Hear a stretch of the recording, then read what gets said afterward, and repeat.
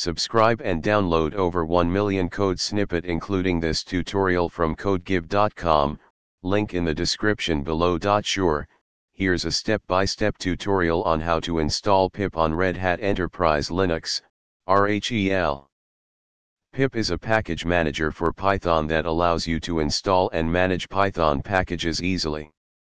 Before installing pip, it's a good practice to update your system's package lists and upgrade the installed packages to their latest versions. Open a terminal and run the following commands. RHEL usually comes with Python pre-installed, but it might not include pip by default. To install pip, you'll need to install the Python 3 package along with Python 3 pip. Run the following command.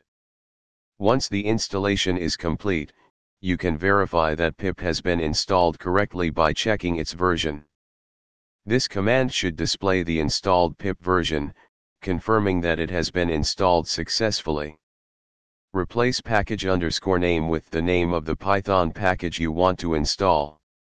By following these steps, you should have successfully installed pip on your Red Hat Enterprise Linux system, allowing you to manage Python packages conveniently.